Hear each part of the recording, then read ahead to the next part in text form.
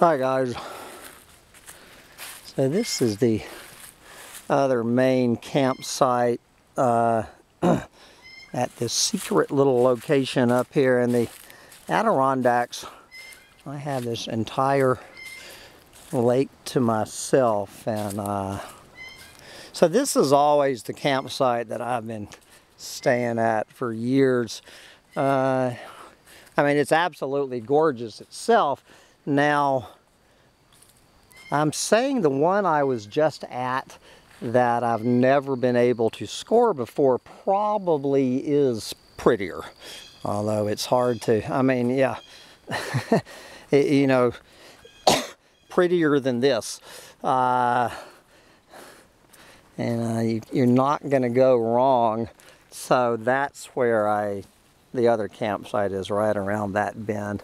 So this is the view out from this campsite. Uh, so why it's well, it's not quite as absolutely spectacularly gorgeous as the other one, although it's pretty damn gorgeous. Look at this fire pit that has been built this year.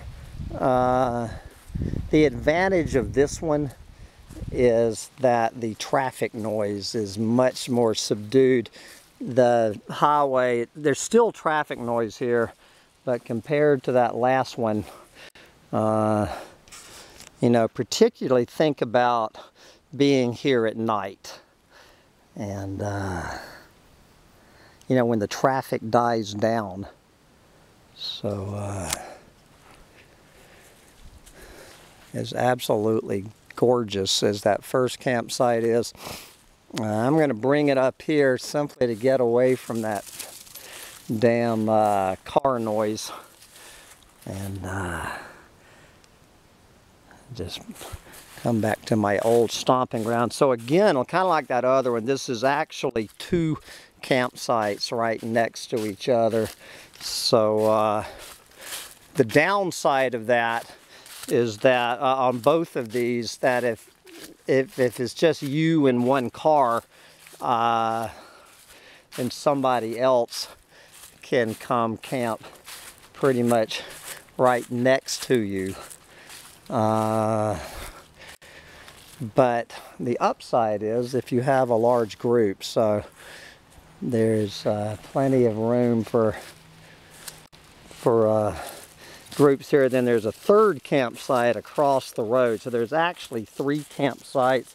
There's room for, good Lord, at either one of these spots, assuming there's nobody there when you get there, which is a big assumption, there's room for six or seven cars. But, you know, these are all first come, first served. Uh, you can't reserve these campsites. And, uh, also, this campsite, like the other one, also has an, an outhouse, has a privy back there. So, uh,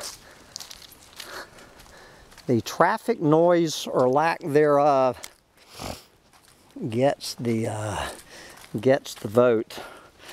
Uh, but you won't go wrong with either of these. Again, if you want to know where I am, send me an email at humptydumptytribe at gmail.com and I will tell you how to find this on freecampsites.net.